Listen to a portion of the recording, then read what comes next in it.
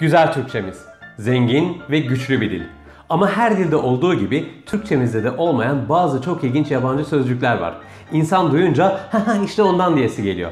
İşte onlardan 12 tanesi. Peki neden 10 değil de 12 tanesi diye soracak olursanız iki tanesini ben uydurdum. Yani sahte. Yani siz yabancılar nasıl diyor? Fake. İlk sözcüğümüz Japoncadan gelsin. Age otori. Hani böyle kuaföre gitmişsin, çok güzel olmak istiyorsun, oturmuşsun, saçını kestirmişsin, bir bakmışsın aynaya, çok çirkinsin. Ya da sen öyle hissediyorsun. İşte bu hissin adı Japonca'da Age otori. Gökhatta. İsveççe'de kuşların sesini dinlemek için sabah erkenden uyanıp dışarı çıkmaya deniyor. Sundoku. Aslında hepimiz yapıyoruz. Kitapları alıp okumadan kitaplığa koymak. Hatta bunu sürekli yapmak. Sobremesa. İspanyolcadan geliyor. Arkadaşlarınızla bir masa kurulmuş, yemektesiniz, süper bir muhabbet var. Yemek bitince hemen kalkmayalım, biraz daha o masanın tadını çıkaralım. Çok severim.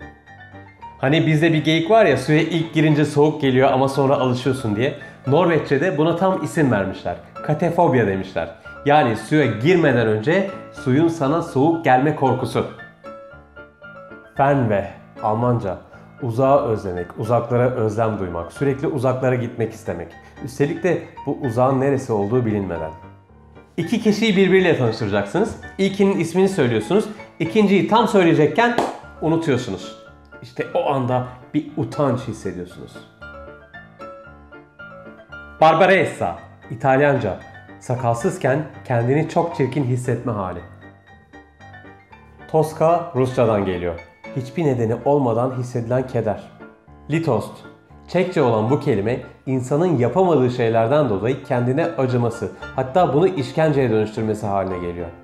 Abi onun adına orada ben utandım ya. Ya da senin adına utanıyorum diyeceğinize Almanca'da kısaca Fremdschämen diyebiliyorsunuz. Ve son sözcüğümüz Fransızca'da. Signoteraus. Yani bir kafede sadece bir kahve içip saatlerce oturma anlamına geliyor. Ne çekmişlerse sözcük bulmuşlar. İşte canım Türkçemizde olmayan 12 tane çok ilginç sözcük. Fake'leri bulmaksa size kalsın.